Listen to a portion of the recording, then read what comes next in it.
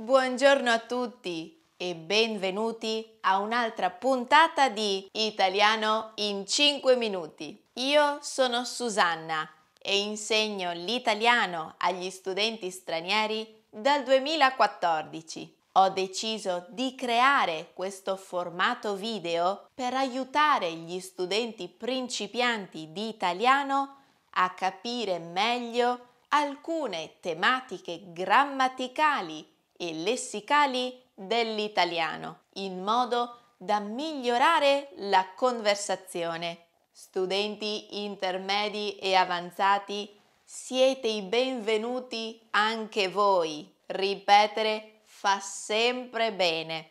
Credetemi, in questo video vi spiego una particolarità della frase negativa italiana.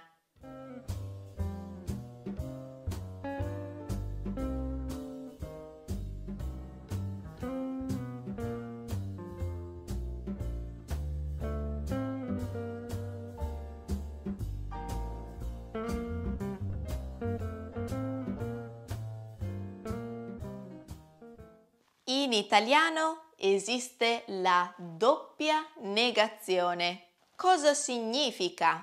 Con l'espressione doppia negazione si intende la presenza di due elementi negativi nella stessa frase. Non c'è nessuno. Se noi traducessimo letteralmente questa frase in inglese diventerebbe There isn't no one. In molte lingue come appunto l'inglese, questa doppia negazione non è possibile, non è corretta. In italiano invece si usa.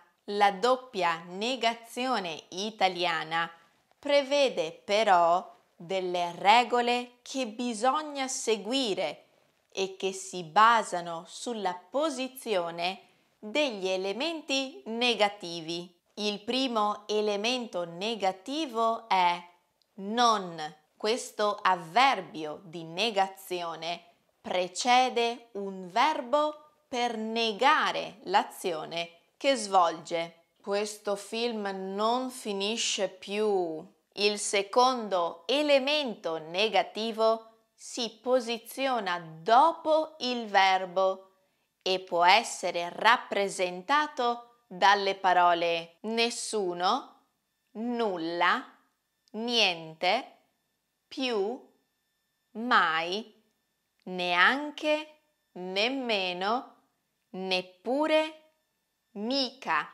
affatto, per niente. Non ha chiamato nessuno, non sei per niente gentile. È fondamentale che capiate l'importanza della posizione affinché la doppia negazione possa esistere, il secondo elemento negativo deve essere messo dopo il verbo. Se volete utilizzare gli indefiniti nessuno, niente, nulla, avete un'altra scelta se svolgono una funzione di soggetto e perciò precedono il verbo, non richiedono l'avverbio negativo non. Nessuno ha parlato. Nulla di tutto questo è successo. Conoscevate queste particolarità della frase negativa in italiano? Sapevate già usare correttamente la doppia negazione? Ora tocca a voi. Scrivete nei commenti degli esempi in cui è presente la doppia negazione italiana. Io spero che questo video vi sia stato utile. Grazie per averlo guardato. Vi ricordo che se non siete ancora iscritti al mio canale YouTube potete farlo cliccando sul pulsante e attivando la campanella. In questo modo vi arriverà una notifica che vi avvisa di nuovi video per migliorare il vostro italiano. Io sono Susanna, insegnante di italiano per stranieri e vi aspetto nel prossimo video.